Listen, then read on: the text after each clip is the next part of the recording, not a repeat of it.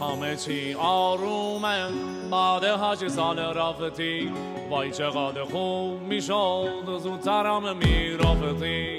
همه چی ارزونه قیمت و پایین اومد. شک نداره هیچ کس به نظام و دولت. همه چی داغونه من چقدر بی حالم پیشم نیستی حالا من دیگه تو فلنگو بستی از چه شد معلومه؟ من چقدر بدبختم همه چی داغونه همه چی داغونه. حرفای محمودا همه شو قاتل کن حالا با روحانی کشور رو آواز کن.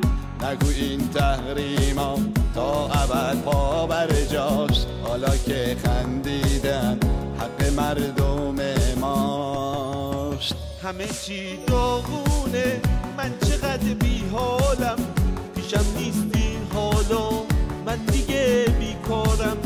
تو فلنگو بستی از شد معلومه. من چقدر چی داغونه